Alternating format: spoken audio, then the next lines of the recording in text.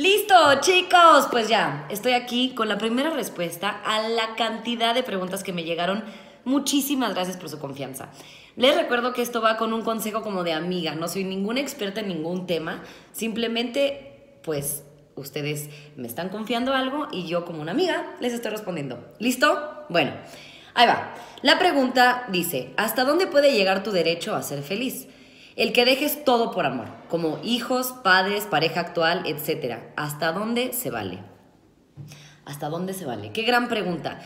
De entrada, así de jalón, yo creo que nada debe tener tu todo. O sea, esos extremos, como los, las palabras de siempre, nunca, todas esas palabras extremistas creo que pueden hacer daño. Entonces, definitivamente, eh, lo que hagas de tu vida debe complementar lo que tienes, porque así sumas y si tú dejas todo, por en este caso, te dejas todo por una pareja, es como un financiero decir, no, pues le voy a apostar todo a una acción. Pues si esa acción cae, ya valió. Sin aparte toda la, la herida que dejas atrás, ¿no? Al abandonar así todo lo que ya creaste. Yo soy una persona bastante equilibrada. A mí no me gusta eh, esas intensidades de, o, impulsividades de ¡pum! Cambié radicalmente de estilo de vida, lo cual a mucha gente de pronto le funciona muy bien.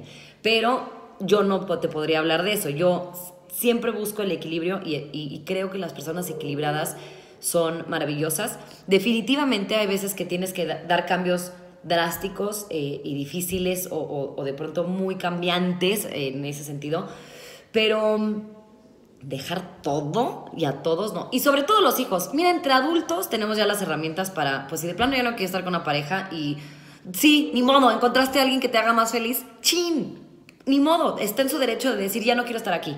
Porque entre adultos la cosa es pareja.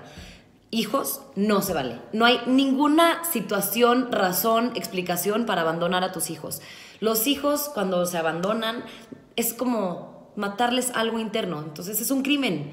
Así que yo creo que entre pares sí se vale, ni modo, se vale decir ya no quiero estar aquí.